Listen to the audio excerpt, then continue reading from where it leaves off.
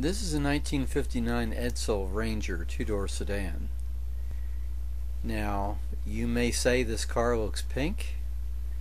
Actual name of the paint color is Talisman Red.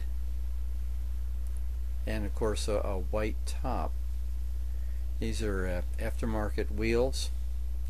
Always intrigued me what they uh, wound up calling these cars that appear pink to me, but back in the day they weren't named pink. Notice the nice matching interior upholstery.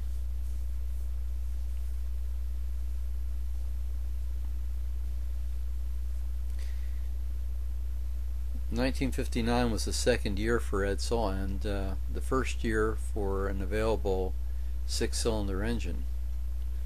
Not sure what this car has under the hood has automatic transmission.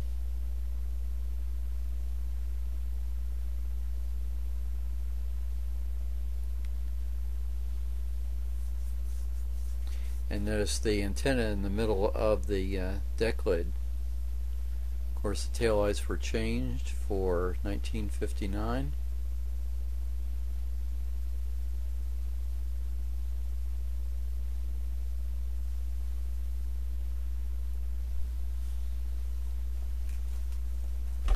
59 the Pacer, Citation, Roundup and Bermuda models were no longer available so the lineup was considerably constricted for 1959.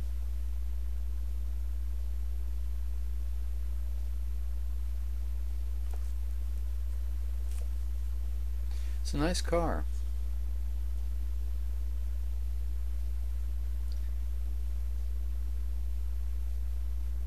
Certainly a lot less controversial styling than the original 58s.